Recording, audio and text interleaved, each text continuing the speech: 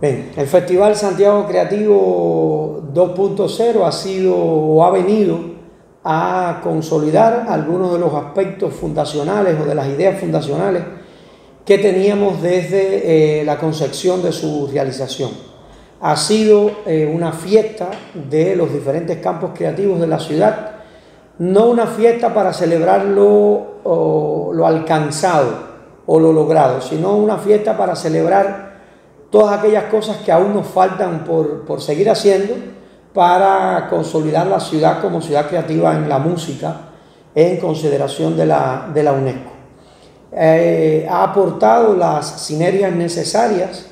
entre los poderes gubernamentales o los gestores gubernamentales, los gestores culturales y los creadores de esta ciudad en los diferentes campos creativos para de conjunto hacer o lograr esa estrategia de desarrollo local que necesitamos para, desde las potencialidades territoriales y teniendo a la música como eje transversalizador de ese desarrollo cultural acá en la ciudad, pues puedan dar el salto que necesitamos. Ha venido a consolidar eh, también la relación, como decía, entre las instituciones culturales que no han tenido que esperar una convocatoria gubernamental para unirse en función del desarrollo de la cultura de la ciudad. Este, esta concepción que se ha tenido con el festival de dividirlo o subdividirlo en un simposio académico, en un foro de negocios, en un evento dedicado a todo lo que tenga que ver con el sabor Santiago. Ha habido muestras cinematográficas de realizadores santiagueros sobre la la música en Santiago y la creación musical. O sea, de una manera u otra la universidad en este simposio académico, con la presentación de más de 90 trabajos que de una manera u otra abordan las insatisfacciones, las regularidades que en el orden de la creación musical y de la gestión cultural en la ciudad pueden estar dando al traste con el desarrollo que se aspira en este, en este sentido. Y esas soluciones que emanan de esas investigaciones que puedan ser concebidas en las estrategias de desarrollo de la ciudad y, y ser instrumentadas en los presupuestos institucionales para su articulación posterior en el próximo año o en años venideros es importante. Y es una de las aspiraciones que creo que vamos materializando con este, con este evento. Que se unifiquen y que se junten los diferentes creadores musicales y creadores en los diferentes campos creativos de la ciudad, en pos de cómo tener una mejor ciudad, en pos de cómo desarrollar de manera conjunta y desde lo autóctono eh, una mejor gestión cultural en la ciudad, eh, ha sido, por supuesto, uno de los principales resultados que estamos teniendo en, en la realización de este evento. Ha quedado ya de por sí marcar el evento siempre del 22, Día del, de Santa Cecilia, eh, Día de Internacional de los Músicos, hasta el día 26, que en la ciudad eh, van ya de por sí en todo el mes de noviembre a unificar. No es un festival que se le dedique a un género raigal en específico. Santiago creo que tiene muchos, tiene el Festival del Son, el Festival de la Trova, el Festival de Coro, eh, el Festival de Santiago Álvaro, o sea, del cine, de la realización del cine y así varios festivales. Pero este festival, Santiago Creativo, es un festival de ciudad. Es un festival de la ciudad Santiago de Cuba donde unifican los diferentes campos creativos, como ya, ya mencionábamos. Tener la condición por la UNESCO de ciudad creativa no da, no presupone que todo está logrado y por eso nos otorgaron la condición. Todo lo contrario es una condición otorgada dadas las potencialidades que tiene la ciudad,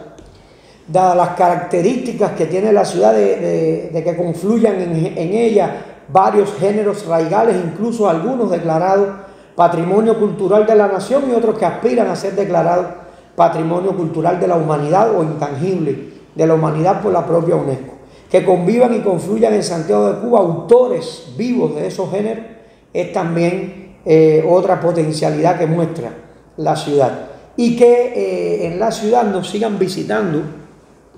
tanto turismo extranjero como turismo nacional en función del desarrollo de un, de un turismo cultural, viene a ser también otro de los compromisos que empieza a asumir la ciudad. Apenas dos años de ser declarada, creo que el, grupo gestor Santiago Creativo ha venido trabajando sobre todas las cosas en sentar las bases para lograr las sinergias necesarias entre todos los componentes que en ella, que en ella confluyen. La realización de conjunto con la academia de un diplomado de industrias culturales creativas y gestión cultural para el desarrollo local que debe de venir en la realización o investigaciones doctorales y de maestría en función de esa gestión cultural necesaria en la ciudad es algo que también viene a, se ha venido aportando a partir de la realización desde el primer festival Santiago Creativo. Y creo que los retos están en esas, en esas cuestiones que hemos venido evaluando, que podemos, que no las llamaría insuficiencias, sino insatisfacciones que vamos teniendo, cómo lograr mucho más conciertos de eh, los diferentes exponentes de los géneros raigales, tener una programación cultural mucho más balanceada en la ciudad y sobre todas las cosas convertir el tramo este de Calle Heredia y de toda el área periférica de Calle Heredia en lo que va, a devenir como el primer distrito creativo nombrado desde la ciudad, donde los diferentes emprendimientos culturales de la misma, de conjunto con las instituciones culturales, pues puedan seguir creando, creando capacidades en las nuevas generaciones de cómo salvaguardar toda esta tradición musical y cultural que desde Santiago, desde Santiago emana. Ahí está, yo creo, que la principal insatisfacción que constituye a la vez un reto para la organización del próximo Festival Santiago Creativo 3.0. La experiencia eh, que yo años atrás no entendía por qué no se puede hacer, afortunadamente ya cómo se puede hacer, del patrocinio privado, ¿cómo ha ido las MIPIMES? A ver, eh, la participación de muchas de las nuevas formas de gestión no estatal y que es un hecho y está incluso ya recogido en la propia constitución del país, eh, deviene nuevos actores que desde la cultura también pueden eh, aportar al desarrollo, al desarrollo cultural de la, de la ciudad. La participación en este evento de patrocinadores es una manera de demostrar también que pueden integrarse al desarrollo de una ciudad. Incluso hay artículos que hemos venido trabajando, eh, un servidor de conjunto con la profesora Alicia Martínez Tena y el doctor Elpidio Elpósito sobre eh, una posible ley o resolución sobre el mecenazgo cultural que eh, va a ayudar a ese desarrollo no institucionalizado, aunque parta, por supuesto, del cumplimiento de las políticas cultural trazada por el país, pero que indiscutiblemente son actores económicos que participan de la vida y del desarrollo de la ciudad y que también quieren aportar desde la salvaguarda de esos eh, fundamentos o esos ejes fundacionales, tanto en la música como en los demás campos creativos. Para nada están divorciados a que eh, puedan participar y no se trata de que su participación presuponga una mercantilización de la cultura, sino aportar eh, económicamente al desarrollo autóctono de esa cultura que aquí se viene trabajando en la ciudad. Eh, seguimos experimentando dentro del marco legal establecido en nuestro país de la participación ya no solo de, de pequeñas empresas nacionales, sino, también de la participación de pequeñas empresas internacionales o de otros,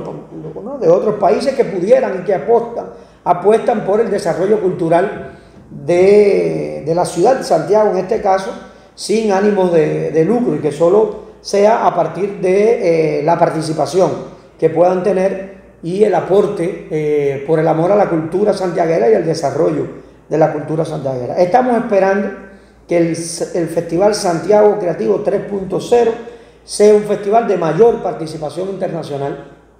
Estamos desde ya convocando a, diferentes formas eh, institucionales o no de las diferentes ciudades creativas del mundo, en específico las ciudades creativas de la música, a volver a vernos en el Festival Santiago Creativo 3.0. Ahora tuvimos muchas participaciones, pero fueron virtuales. O sea, eh, participaron ciudades de eh, creativas de Colombia, ciudades creativas de México, también una participación de República Dominicana, pero de manera virtual. Esperamos que eh, corrigiendo las convocatorias en tiempo y forma que podamos hacer desde la ciudad y desde este evento, pues puedan participar el año que viene muchas más eh, iniciativas privadas y estatales, ¿por qué no?, de diferentes países que también tienen ciudades creativas y podamos, que es la aspiración, integrar desde Santiago la formación de la red de ciudades creativas del Caribe, que es a lo que estamos aspirando con, esto, con este festival. En definitiva, del 0 a 10, ¿qué valoración hace Camping de 2.0? a ver, el 2.0, eh, de 0 a 10, creo que, que estamos entre 7 y medio y 8, porque indiscutiblemente no todo nos salió bien,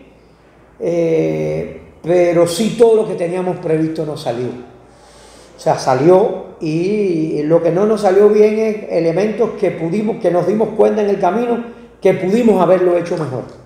que pudimos haberlo hecho mejor dadas las circunstancias que tenemos. Pero esta propia evaluación nos dice que creo, creemos que vamos por el camino correcto hacia la ciudad creativa que aspiramos. Y sobre todas las cosas que ha sido un festival que no se ha organizado desde, eh, si buscamos o lo comparamos con una figura geométrica, desde la punta de un triángulo, sino que ha sido una, un festival que se ha organizado desde un círculo, donde todos hemos sido protagonistas, donde todos hemos venido aportando y esas aportaciones pues se han ido valorando en ese grupo gestor que es el Santiago, el grupo gestor Santiago Creativo y que eh, creemos que desde ya estamos evocados, de hecho, estamos ya evaluando qué insuficiencias hemos tenido, qué insatisfacciones hemos tenido en cada uno de los componentes o actividades que componen el, festival en sí, para por supuesto que no, se nos, que no se nos repitan. Pero de manera general, creo que la evaluación que hacemos en el Santiago Creativo, y creo que también teníamos, debíamos preguntarte a ti, eh, lo que has podido palpar, es que ha sido un festival superior con respecto al que concebimos el año pasado y un festival donde hemos tenido mucha más integración de los diferentes campos creativos que es, a los que aspiramos y que Santiago pueda mantener la condición de ciudad creativa en la música valorada por el UNESCO, porque somos en sí y de por sí ciudad musical.